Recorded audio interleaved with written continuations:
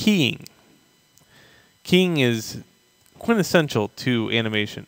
Anything in Maya can be animated, which is very overwhelming to a student.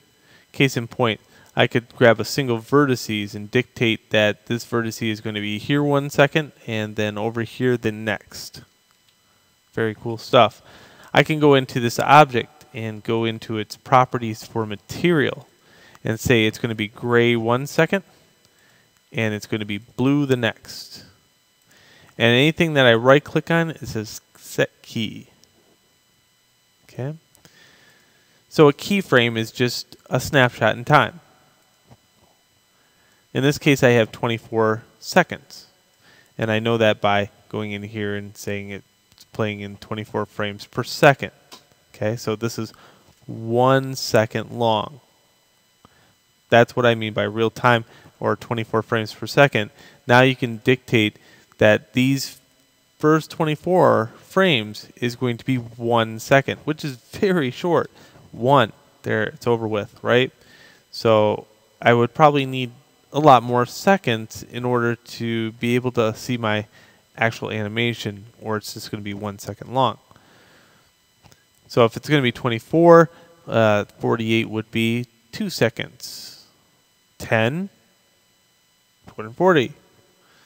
Okay, so you can see how that gets really, really out there very quickly. So if I put 240 frames right here, or seconds, that's 24 frames per second, so this is 10 seconds long. So do the math. Very important. So in 10 seconds, it's a very long time in animation. I'm just going to snarf that down a little bit to a couple seconds or just play around with the idea that there is 48 for right now. And I'm going to show you how to scale up your keys. So how to set a key and what keys are. We got translate, rotate, and scale. We're going to we're going to look at keying movement first before we key components. So on the first frame, I can hit S, and S dictates that everything is going to get keyed. That's not always practical, however. You know, you shouldn't think about keying everything. A lot of new students key everything. Later on, you're going to find that that's a very hurtful thing if you go to um, the timeline built into Maya and or the graph editor. It gets really confusing. So if we want to get rid of that that keyframe, there's a couple different ways to do it. One, we could go over here and highlight all these and right click on it and say break connections. That's one way to do it. Another way to do it is go over here and right click and delete. Okay? If I want to set keys only on translate, it's Shift W. Again, if I want to get rid of those, I can right click and say break connections, or I can delete it over here. If I want to set keys only on rotates, I can hit Shift E. And Shift R is scale. Shift W, and you can see how these are blocking out. Again, I'm just going to go over here and delete it. It's good to know that you can break the connections, however, because let's say I want to only get rid of keying things and rotate. Well, if I had done this, let's say I hit Shift W and E, whoops.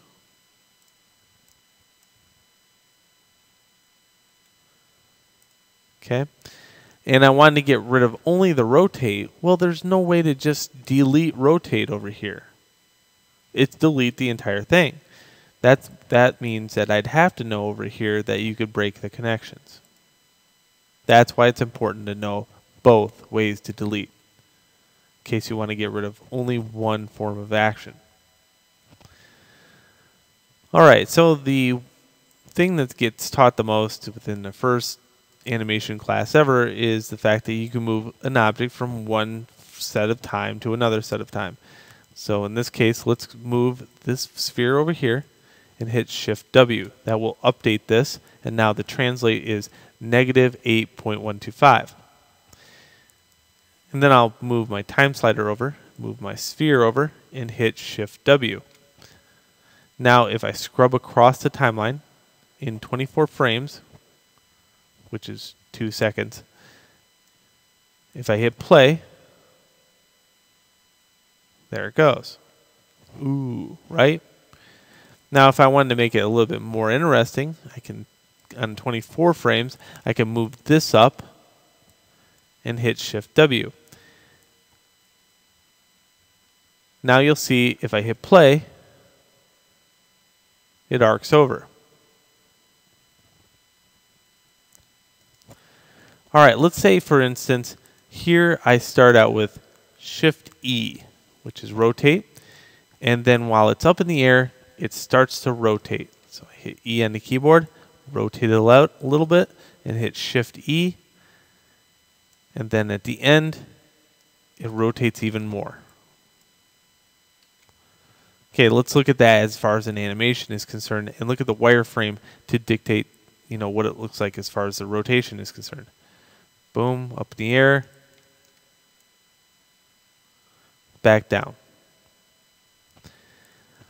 Later on, I decide that I do not want it to be rotated. So in the center here, I would have to break that connection. And if I wanted it to go back to normal, I would have to put this back down to zero. There we go. It's no longer keyed. But my original keyframes are still set into place for the translate. All right, now the good stuff.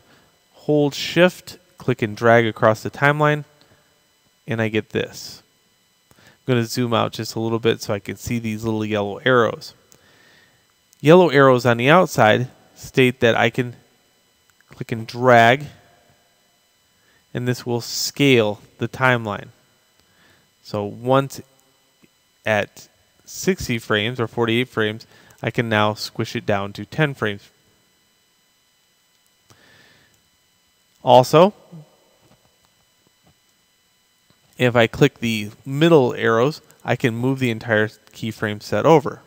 So instead of having it on 0 or 1 frame, I can go to 60 frames and that's where it starts. Now, in this case, you're going to get it putting frames on odd places. Like now it's 87.0. We don't want that, so we right click here and in here we we can snap. Snapping will allow it to not make stupid choices like half frames or three quarter frames or any of those other things as we move it across. So hold shift again. Okay, if I start going like this, that's not going to change. But when we scale it, that's when it's going to start snapping.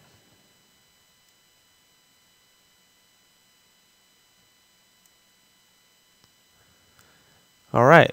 Well, that's keying 101. How to get rid of them, how to move them around, how to scale them. But this is a poor graphical interface for um, dealing with keyframes. So now we're going to look at the graph editor and how it works.